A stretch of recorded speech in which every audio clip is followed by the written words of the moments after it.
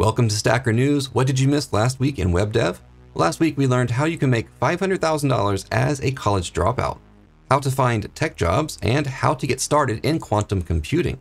In this video, I'll highlight my favorite creators from last week, and maybe you'll discover some new content that you didn't know about. But there's even more news in the STACKr News newsletter. Click the link in the description below to sign up. All of the links mentioned will be in the newsletter. And if this video helps you out, help me out by liking and subscribing. This is STACKr News. I'm adding a new segment to the news. Every week, I'll highlight a new VS Code extension. I love finding new extensions that help me to be more productive. The extension this week is Tab Out. This extension lets you tab out of quotes, brackets, or curly braces. Normally, if you hit tab, it would add a tab. But with this extension, it will move your cursor to the outside of the quotes, brackets, or curly braces. I think it's helpful and a great idea, so give it a try. Here are last week's videos in no particular order. You have to check out this video from Bukola. She interviewed Esco Obong, a senior software engineer at Airbnb. He tells his story about how he was able to break into tech without a college degree. In this video from Codem, he talks about the five technologies he thinks are dying and that you should stay away from as a web developer. I think I agree with all of these. Now, PayPal is one of the largest payment platforms and is used by millions of people. In this video from Kyle at WebDev Simplified, he shows us how to accept payments in our applications from PayPal.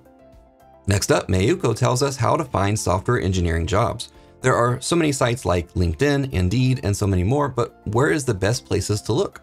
Mayuko gets some help from Sarah at levels.fyi to answer that question. Next, Python Simplified shows us how to create and train a basic artificial neural network using only NumPy and Pandas. Now by doing this, you're going to better understand the math behind all of the ML concepts. Building a serverless subscription site might seem like a daunting task, but in this video from Ali Spittel, she shows us how to do that in just 30 minutes using Next.js and Stripe. You'll be able to build a site that allows a user to subscribe and then view paywalled content only accessible by subscribers. And in this video from Anastasia Marchenkova, she talks about the opportunities in the quantum space and how you can get started in quantum computing in 2021. She talks about getting research experience, what programming language you should learn, what your college major should be, and many other topics.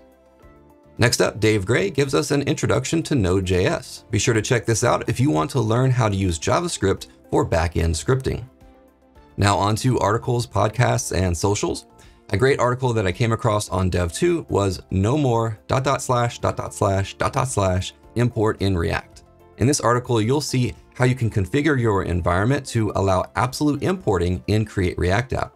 And what I thought was funny about this was that there are some extra steps that you have to take to make this work in WebStorm or PHP Storm, but it just works automatically in VS Code.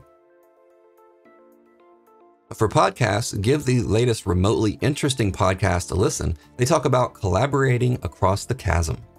Instagram also has a great coding community. Here's a highlight from last week. In this one from JavaScript Mastery, you'll learn the top eight most popular headless CMSs.